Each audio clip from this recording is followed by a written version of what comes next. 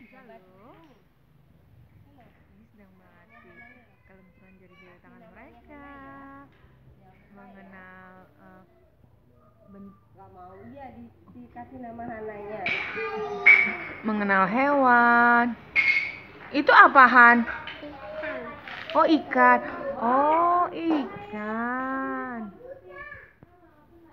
Ikan ciptaan siapa Han? Allah, Allah ikan hidupnya di mana air, ikan berjalan atau berenang? Berenang, berenang Hana bisa berenang? Bisa, oh bisa. Hana kalau berenang di mana?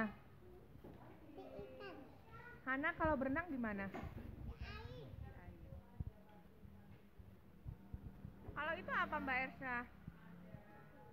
Oh kupu-kupu. Kupu-kupu itu berjalan atau terbang? Terbangnya di mana? Di atas. Kupu-kupu ciptaan siapa? Allah. Kupu-kupu kok bisa terbang punya apa? Kupu-kupu kok bisa terbang punya apa ini namanya? Punya sayap. Ya, ini juga untuk melatih kognitif mereka, mengenal hewan.